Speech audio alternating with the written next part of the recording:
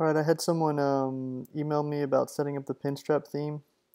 This has been on uh, bragthemes.com for a while now, and there's not really any documentation on how to set it up, so I thought I'd make a quick video here. So once you upload the theme and have it in your themes directory, you want to go ahead and activate it, and then once you activate it, the front end should look something similar to this, of course without these filler uh, blog posts. I'm running on a dev environment. I have some filler content in here, so you won't see any of this. But once you go into Appearance, there's this Theme Options panel here. And you can set a lot of different options here, like upload a logo, set the menu position, fixed or static. So out of the box, it stays up top, which is fixed. Um, change the color, gray or black. Show the search bar, which is this little guy here. Um, link color, link cover color. These are just you know little options where you can select. Show the breadcrumbs and the powered by text. That's the text here at the bottom that you can change. Um, other than that, we have this social section.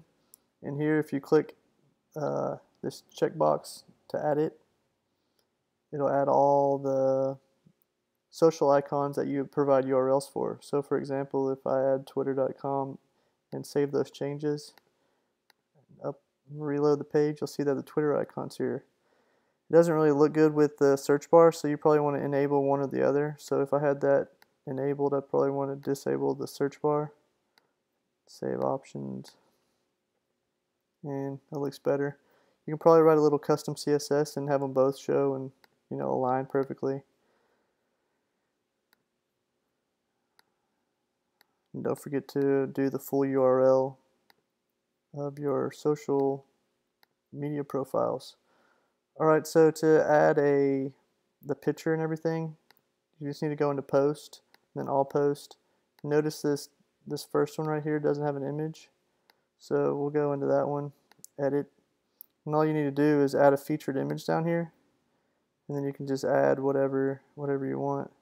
So let's just pick that image, save that. Has some copy in here. Update and then when you reload the page you'll see that that one now has a featured image. When you click this little button it blows it up where you can see it.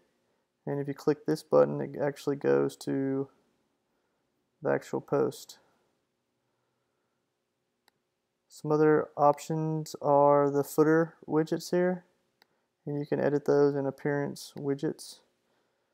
And notice you know there's one two three widget areas and you can just change that content there.